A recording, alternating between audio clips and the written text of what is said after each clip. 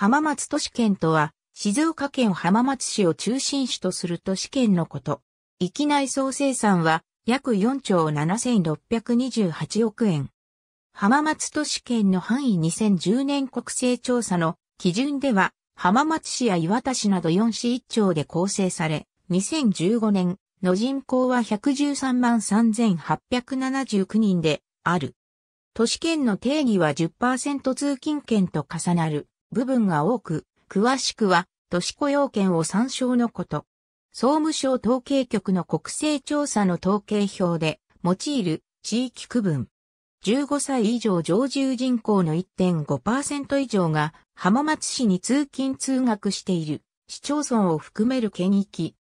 2007年の政令指定都市移行に伴い、2010年の調査からは静岡都市圏と統合された静岡、浜松大都市圏として設定されている。静岡空港浜松駅三日日ジャンクション、午前気候静岡放送とテレビ静岡は、浜松都市圏とそれ以外の静岡県とで別々の放送免許を持っているため、地区ごとに CM を差し替えるなど別編成の放送が可能である。これは、かつて中部日本放送や東海テレビが浜松支局を開設した際に競合したためである。後発の静岡朝日テレビと静岡第一テレビは浜松市に本社、スタジオを置いて開局の予定だった。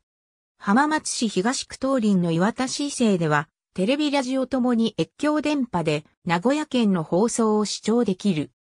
アナログではほぼ全域で受信できるが、デジタルは浜松市の西区、南区の中田島より西の地域、北区の都田地区、小西市でも一部の地区、家庭のみの視聴可能エリアで、他はほぼ全域で受信不可能。ありがとうございます。